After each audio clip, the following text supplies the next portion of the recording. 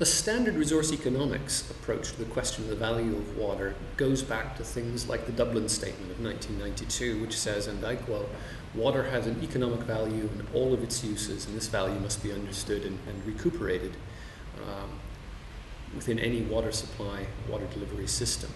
That's understood as economic value, and that leads quite neatly and directly towards uh, an understanding of water as an economic commodity. In other words, as an economic commodity, you should get exactly as much as you can pay for, and you should pay for every bit you use.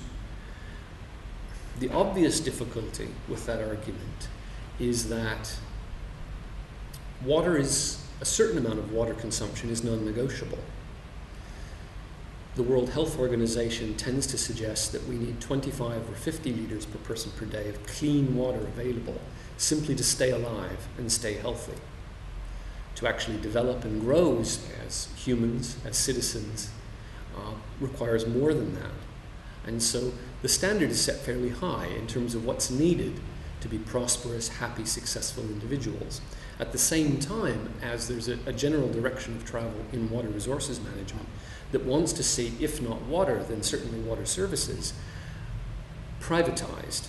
That is to say, the availability of finance becomes the gatekeeper and the arbiter of how much of what kind of water you will have.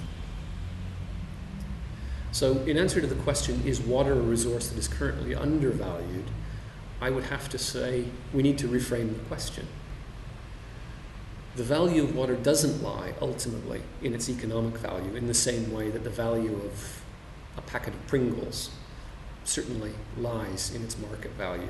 Nobody's life depends on Pringles. I think we can feel fairly comfortable with that. Water's value ultimately lies in the fact that it is fundamental to life, social, cultural, and economic development.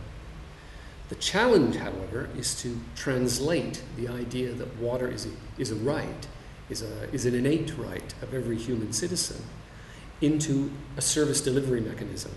Service delivery mechanisms currently are generally dominated by private undertakers who operate in a for profit environment, albeit regulated. And there isn't much room for a non commodity provision of water unless one begins to look at instances like South Africa, where the South African constitution guarantees a certain standard of water provision to every South African citizen. Of course, as, as many viewers will know, this right has been challenged recently by the city of Johannesburg in a famous court case that went all the way to the South African um, Supreme Court, which set, which attempted to pin down or define just how much provision was enough provision. Was it one litre per person per day or 100 litres per person per day? And in fact, the South African uh, Supreme Court decided that somewhere around 25 litres per person per day was adequate in the circumstances of current infrastructure development and availability of finance uh, in South Africa.